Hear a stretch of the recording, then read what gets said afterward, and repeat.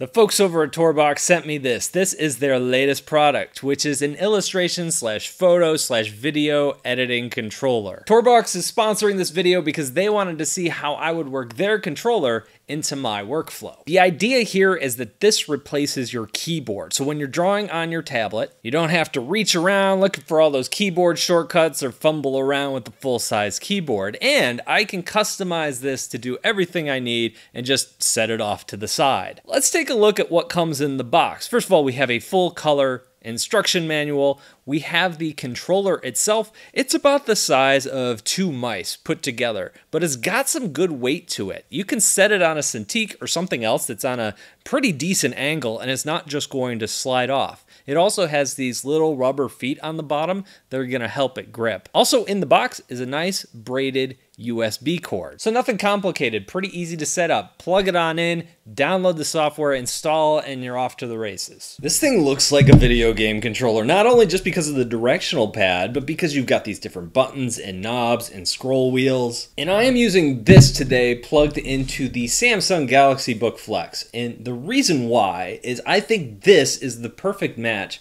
for a lot of these Windows notebooks that come with pens. Let me show you why.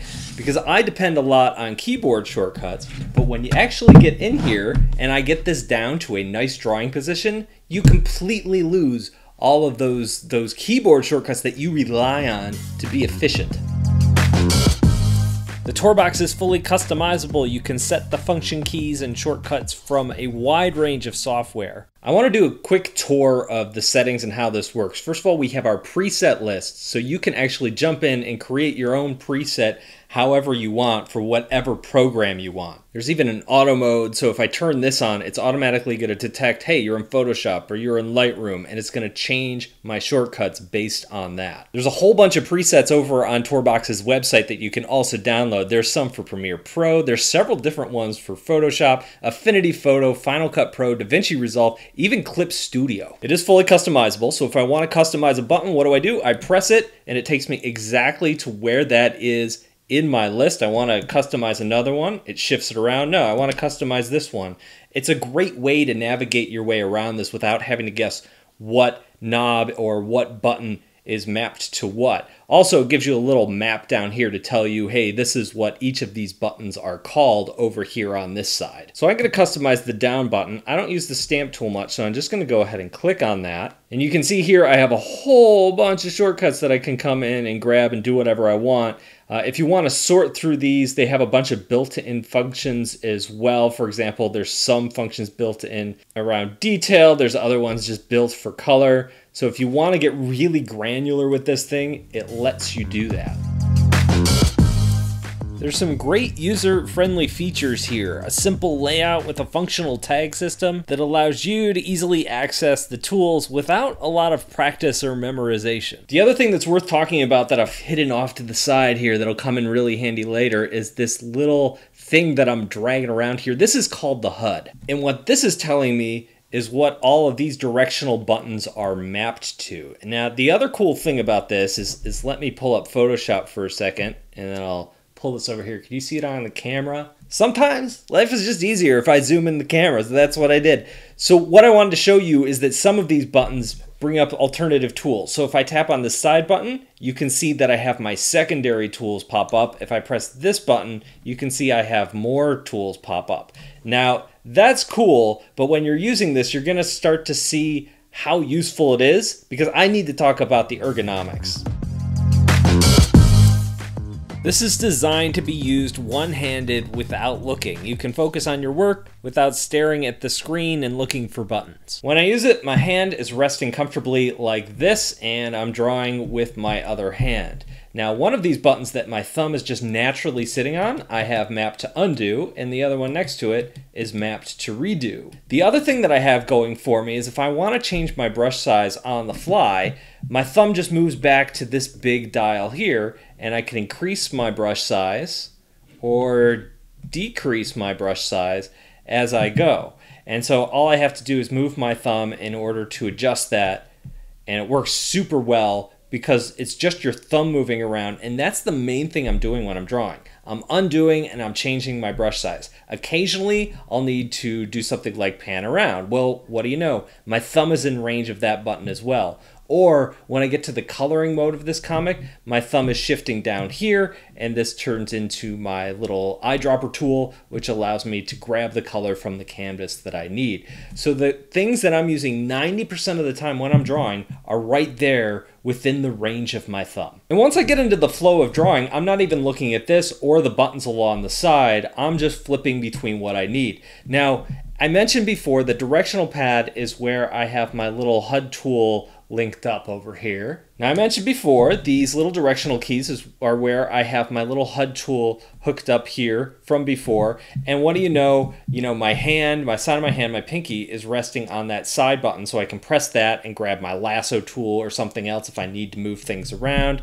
Or another finger can rest up here on this top button and I can shift to some of my other tools like my fill tool or my free transform tool. So just with the movement of a couple of my fingers, I can cover everything that I need to do in Photoshop. So I'm gonna start drawing. We'll come back in a minute and I'll show you a couple other bells and whistles we have here.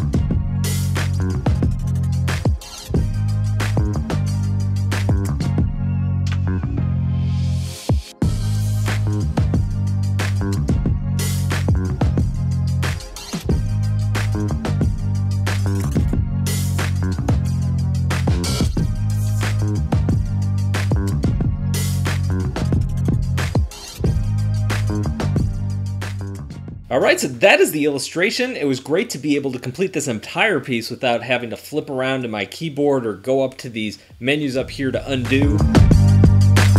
This is a pretty in-depth application, gives you precise brush control, flexible tool switching, and parameter adjustments. There are some things that I only really got to scratch the surface of. For example, the zoom in and out on this dial was really handy. The brush sizing was really heavy. I never really got to use this dial, but I want to show you some of the things you could do with it. I hope you like this new view. Got a nice little picture-in-picture thing going on. This is the type of thing that is great for making adjustments or playing around with photography and trying different things. So I'm going to go up to image. I'm going to go down to adjustments and then I'm going to go down to hue and saturation and it brings up this nice little dialog box for me. So this is a comic book panel and its purpose is to communicate part of the story to you. And the part of the story here is that ribbon is important. The character is reaching for that ribbon, not the pencils, not the little dagger, not the books. And so to do that, I wanted that color red to pop. And honestly, I don't think that it's really doing that right now. So I have my dial here over on my left and I can come in here and adjust the saturation. Now if I turn that dial up, you're going to see that those colors on that layer get even more intense. Instead of the desk being brown, now it's like an orange. That math book is really blue. That science book is really green. And so now that ribbon doesn't show at all. So I'm going to dial that back. We'll just scroll it back to where it was. And then I'm going to keep going down. Now it's at like negative 25%. Now I've taken some of the color out of those images and it helps that ribbon pop. I could even dial it down even more. Let's go all the way down to zero here really quick. And you can see now it's just a black and white image. Now it really pops. Now, I think that draws too much attention to it, so I'm just going to dial it up a little bit. Maybe we'll go up into the 60s, maybe maybe around negative 30, 37. That looks pretty good. Now this video is just limited to Photoshop, but I could really see this coming in handy if you're using Lightroom or if you're using Premiere Pro and you want to scrub through your timeline. One last thing, there is a software update coming to Tourbox. They're adding a complete set of Lightroom related built-in functions with 100 new functions. Two new renewed default presets for Premiere Pro, one especially for editing and another one for color grading. Fully optimized for Premiere Pro, significant improvement over the previous experience. They're also adding language support, language updates for German, French, Spanish, and Italian. And lastly, multiple presets that are associated with connecting working processes. So that was the Tourbox. What do you think? Let me know down below in the comments how you would use this thing. Thank you for watching, and I'll talk to you in a couple of days.